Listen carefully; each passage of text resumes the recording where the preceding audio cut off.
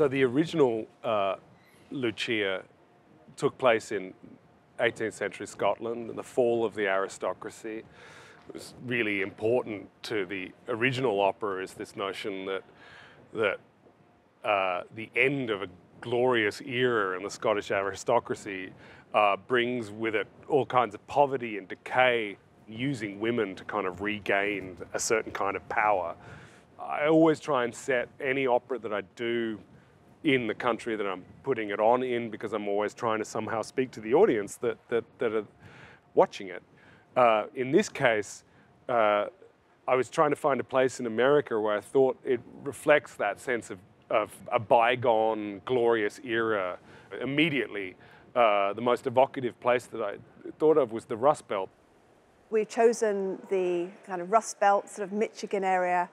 It's a place that has experienced great prosperity and wealth and has gone into a decline and there are real sort of struggles in the community and all that feels really ripe for the Lucia story, the human story, but also it's uh, an area which is, you know, has so much iconography in terms of the kind of great American capitalist past. I think of sort of movie screens and, you know, the big industrial plants.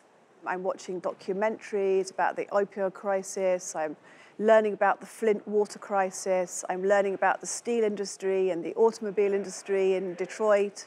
And also, you know, we understand a lot of this area to be very boarded up, shuttered down. So there's a lot of texture. And it really allows you to sort of examine the story from a contemporary sense and uh, from a political, cultural sense, it, it's, it's just a whole different way of, of designing for the piece. We're trying to go through a, a trip through a whole town, get a sense of the whole world of this opera.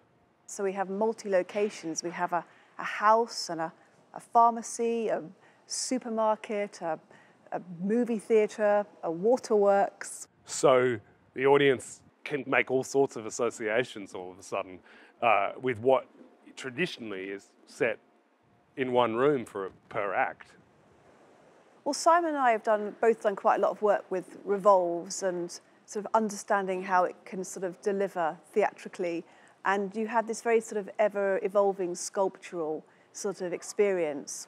So it feels like you're on this epic journey, I think, throughout the, the piece.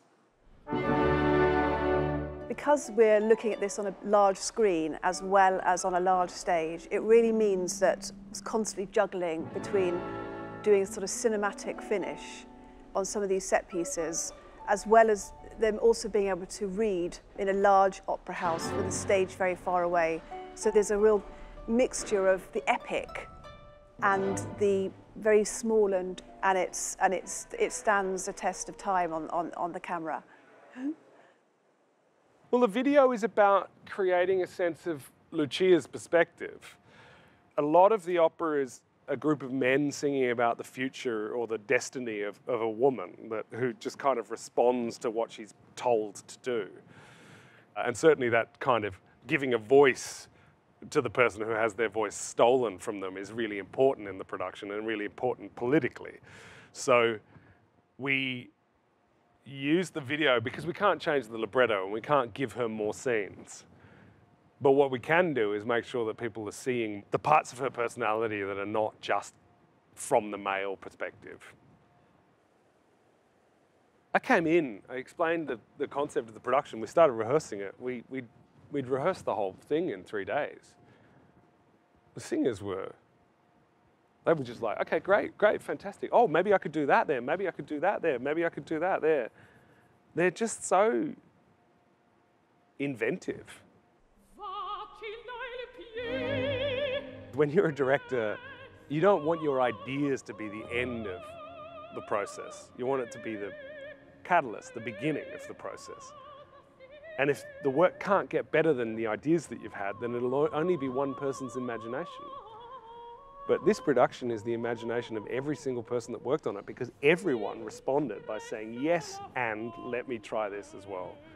And I think you can witness that in the kind of multifaceted, uh, myriad uh, details uh, of, of the work that we've all created. And that is very much the work of every single person that worked on it.